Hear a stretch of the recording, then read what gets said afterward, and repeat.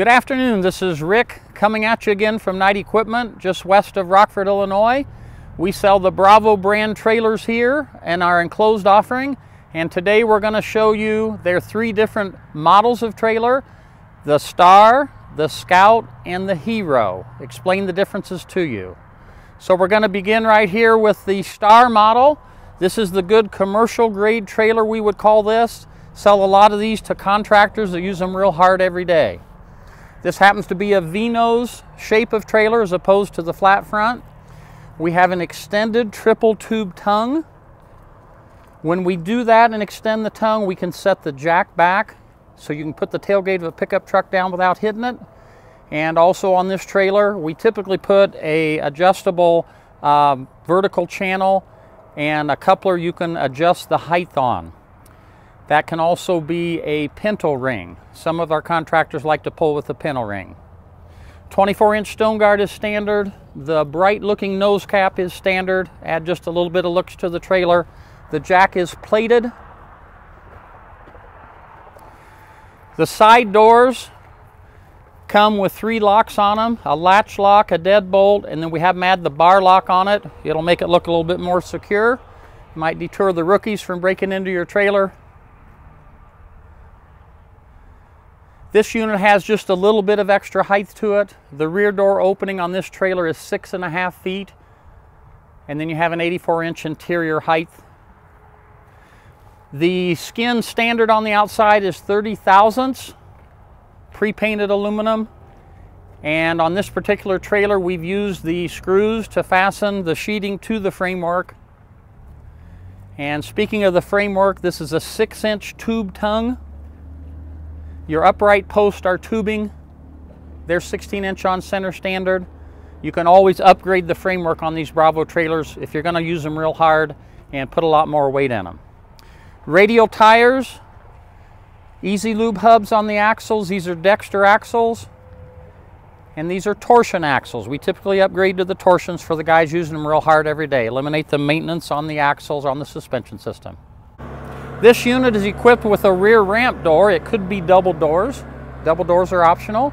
This ramp door is, uh, the durability of it, it is rated like a car hauler. It's uh, will handle 5,500 pounds rolling dispersed.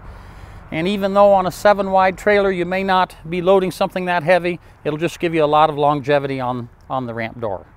Has an extension on the ramp door. The cable assist, cables on both sides. On the interior, the wallboard comes standard 3 8 inch. That's called Dry Max. It has moisture resistance to it. The floor is 3 quarter inch Dry Max, again moisture resistant. The cross members are, um, in this case, 16 inch on center. One piece aluminum roof. A couple dome lights with three-way wall switches on this unit and we have a MaxxAir roof vent with the rain shield on it. Bravo mounts the breakaway battery on the inside on the V-nose trailers. That's for your breakaway kit for emergency. This particular unit was equipped with 3,500 pound axles. This unit can also be equipped with 5,200 pound axles, 6,000 pound axles, or 7,000 pound axles, again depending on the weight and how you're going to use the trailer. So that's the Star. That's what we call the commercial grade trailer. Now we're going to walk you through the Scout. This would be what we'd call their good mid-grade trailer. Main difference between this and the Star is the framework. The framework on this one is a 4-inch tube instead of 6-inch tube.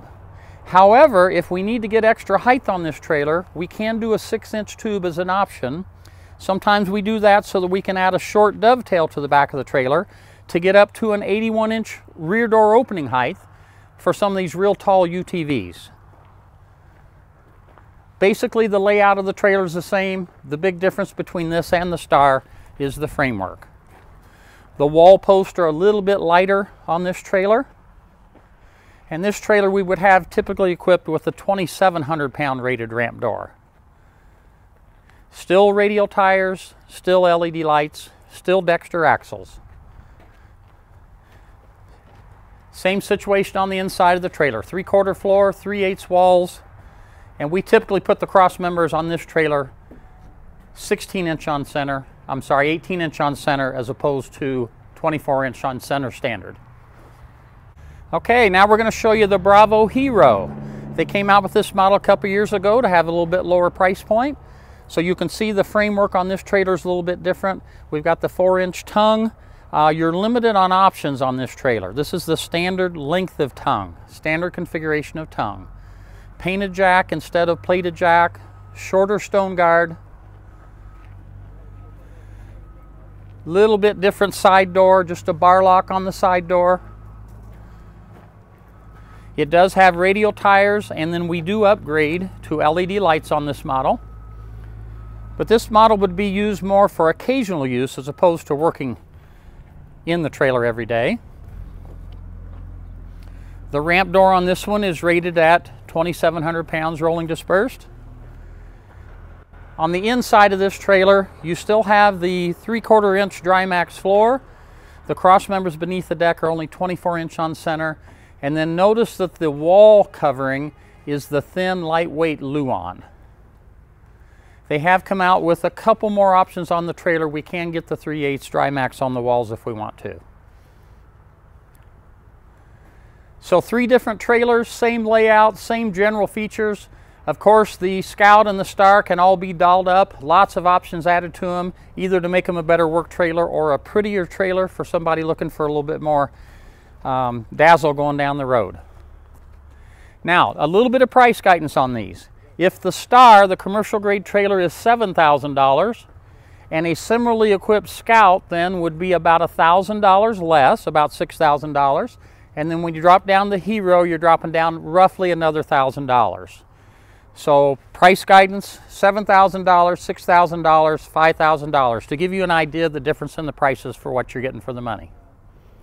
So we're glad you took a few minutes to look at these with us. Thank you very much. Call if you got any questions. You can check us out on our website at www.niteequip.com. Uh, best though, give us a call. We'd like to talk to you and tell you more about what we offer here at NITE Equipment. Thanks for joining us.